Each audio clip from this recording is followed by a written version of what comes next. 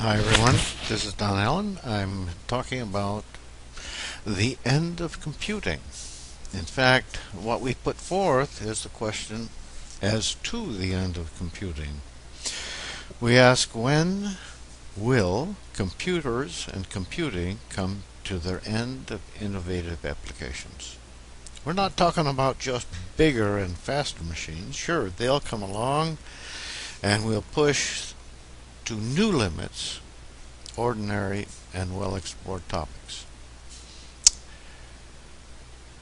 They have done this and, and, they will continue to do this. We're entered into a discussion about the use of computers to solve new, even revolutionary concepts of this world.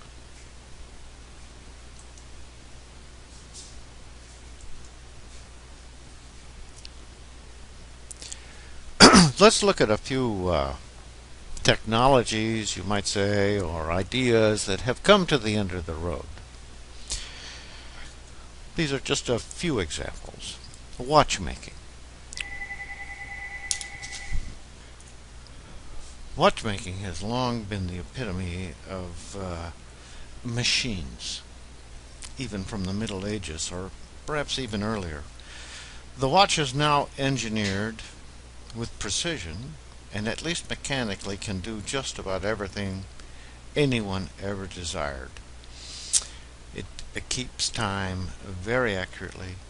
Even still, there's been evolved a new technology for this, and we'll get to that shortly. The horizontal milling machine, many of you do not know about, but it is a machine that basically carves precise measurements into a stock of uh, metal, such as a engine block or cylinder, to uh, give it the purpose for which it is desired. This machine is well understood, it's well known, and just about everything that it can do has been done, and it's well explored. So, as a as a technology, it's come to the end of its road. That is not to diminish its importance. Data storage. The next item on the list is something that has long been sought and now has been achieved. That is massive storage of data into the exabyte uh, range and just about everything you do and I do and uh, everyone you know does can be stored and who knows, it maybe is. The new problems may involve making sense of all this data, bringing it to reign and to meaning. Time. Well, this sounds a lot like uh, the first point, watchmaking, but it's not. Time uh, is something people have sought to measure forever. Even in the ancient times, uh, the sundial was the uh, accurate measure, and in fact, it, it exceeded the measurement of uh, early clocks. But with the Bulova Accutron, some decades ago, based on sort of a tuning fork idea, and then the quartz crystal, which is even two decades old or so, and now the atomic clock, uh, timekeeping has uh, achieved everything it ever wanted to uh, um, achieve and measure. It is, with the atomic clock at the end of its road, uh, it, it's possible, but not probable, that applications uh, of time will exceed uh, the uh, need for accuracy that atomic clocks now provide. Art is interesting. The techniques of painting have been developed to such heights that modern artists must change the message just to gain attention. There are likely no current artists that can closely match the technique of the masters, and uh, Rembrandt are among them of only a few centuries ago.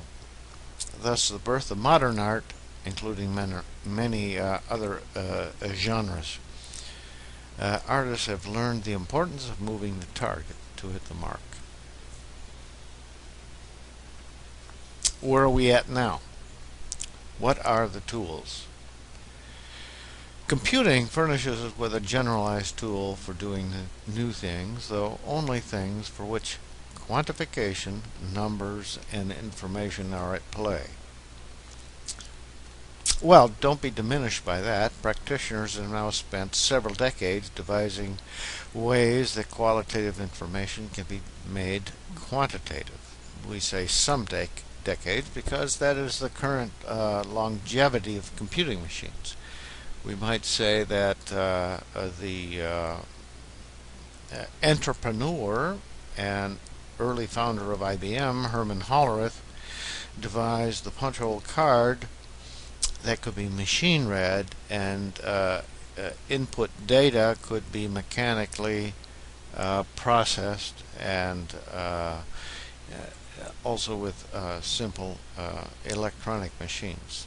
These were basically programmed boards that would do certain tasks. Of course, this was years before the computer as we know it. Indeed, the most striking aspect of computers was and remains the concept of the stored program and now even the adaptive program. Our mission here is not to recount the history of uh, computing, but rather to suggest where it's going. We would be remiss if we did not mention uh, uh, Gödel, the uh, uh, great uh, Austrian mathematician, who proved that within any mathematical system there are problems that can be posed that cannot be solved. So this brings us really to the point where uh, we can do little more than solve problems that can be solved. Let's look at the key components of computing these days. They include numerics, data modeling, big data. You notice there's a data is in two of these points. Uh, let's go on to numerics first. The world of functions, of mathematical models, is rampant and uh, incredibly successful in uh, predicting what may happen when we have a mathematical model that models physical phenomena. Data. The accumulation of population, climate, weather, and other uh, statistical data has amassed at such a rate and has exceeded all estimable bounds that it cannot uh, it cannot uh, be processed without computers to help. Just imagine a large bank trying to keep track of its customers with index cards and phone numbers on a Rolodex modeling. This is the most successful technique probably of the last two millennia that has been uh, uh, proposed, uh, introduced, and applied. It is making a mathematical, and in some cases a statistical model of what can happen in a given situation. Most mathematical models have no tight closed solution coming by way of a formula. Most problems involving these models require intense numerical computing. In fact, in the past four decades, an entire field of numerical analysis has evolved simply to help provide solutions to such problems. Statistical models are generated from small or more recently massive data sets to correlate and thus to explain cause and effect. Keep this in mind. Cause and effect correlate. They are not the same, but there's a tendency to equate them. Big data. This is the newest application of big data. It has captured the world. It involves massive amounts of data with the goal simply to determine patterns within it. There are specialized softwares such as RapidMiner and SAS designed to do just that, and remarkable results have been achieved. Yet I must indicate there's a human element in the interpretation of these results.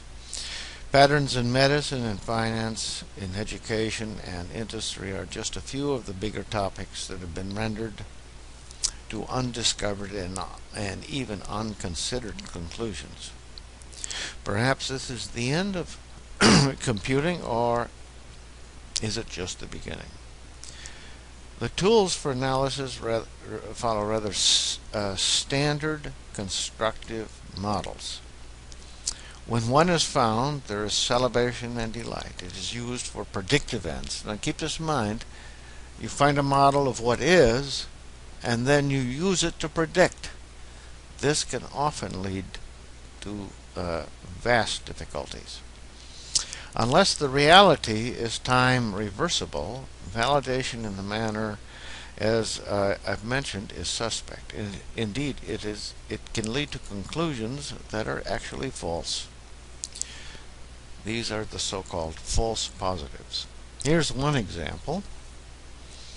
In a very recent uh, Cornell University study of Facebook pages of more than a million, I think about a million five participants, it has been determined uh, that uh, by looking at the Facebook texts, uh, the program can determine a relational breakup before the breakup even happens. This this is uh, indicated uh, by one uh, simple fact, and that is that uh,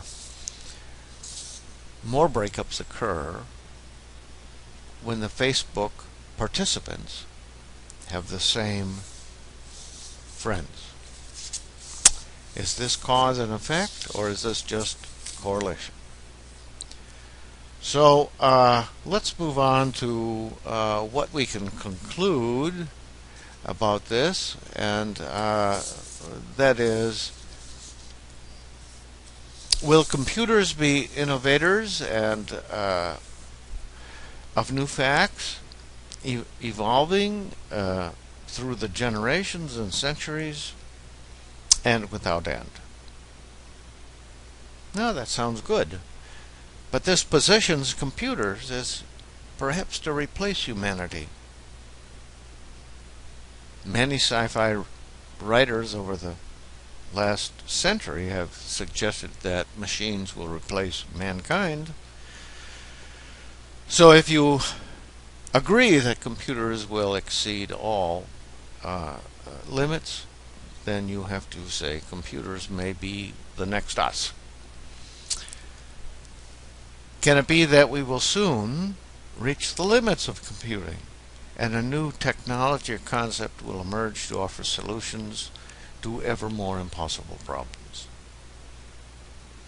Can it be that modeling will, will create a world of lemmings wherein we see a rush to the latest conclusion and then in turn a rush to a new conclusion based on the former conclusion and then and then and then and so on seeing one systemic change after another, each chasing the, the conclusions of the past. Can it be that tried and tested cause and effect paradigms are to, re, to, are to be replaced by degrees of correlation? Of course, we're uh, decades, probably centuries, from the end of computing Yet this commixture of numerics with modeling of big data gives on the one hand assurances of defined reality and on the other hand the predictive modeling based on data sets. This creates an internal conflict. The dark side is what happens if society becomes overly intoxicated by its models and begins to reinterpret them as facts. Facts, mind you. Much less than truths. To me, this is kind of scary.